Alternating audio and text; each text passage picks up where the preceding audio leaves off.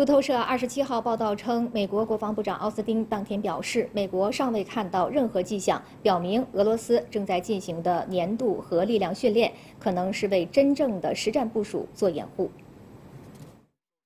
据克里姆林宫网站二十六号消息，俄罗斯军方当天举行了战略威慑力量训练，并完成全部训练任务。俄总统普京观看了此次训练。俄媒报道称，此次演习旨在回应北约于十七号开始为期约两周的坚定正午核威慑演习。在此次演习中，俄亚尔斯洲际弹道导弹、图拉号核潜艇以及图九五 MS 战略轰炸机均有亮相。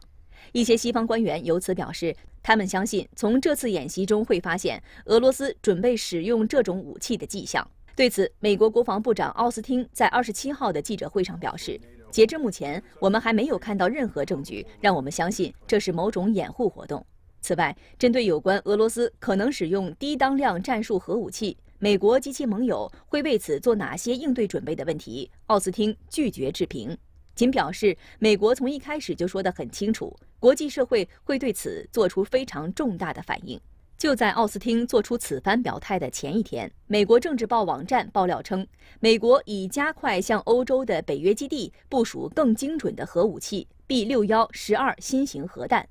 报道援引一份外交文件和两名知情人士的话说，在本月布鲁塞尔举行的一次闭门会议后，美国官员已告诉北约盟友，B 六幺十二新型核弹将在今年十二月抵达欧洲进行部署。而按照原计划，这款核武器在欧洲的部署时间应为二零二三年春天。